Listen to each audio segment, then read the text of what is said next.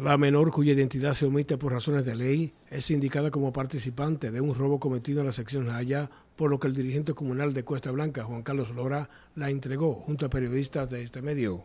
Dirigente comunitario, nosotros eh, trabajamos de frente al sol, lo que hicimos para que ella demuestre a la justicia lo contrario fue venir a entregar aquí a la policía para que se hagan las investigaciones del lugar y si ella no tiene nada que ver con eso, porque sea suelta. Ahora, si tiene su si es culpable, pues ya la justicia determinará eh, el proceso a seguir. Pero como te reitero, vinimos a hacer entrega, ella dice que no tiene ningún tipo de golpe en su cuerpo, no tiene nada, queremos que se le garantice su integridad física y queremos que se haga el trabajo, que no se maltrate y que se hagan las investigaciones del lugar. NTN, Pedro Fernández.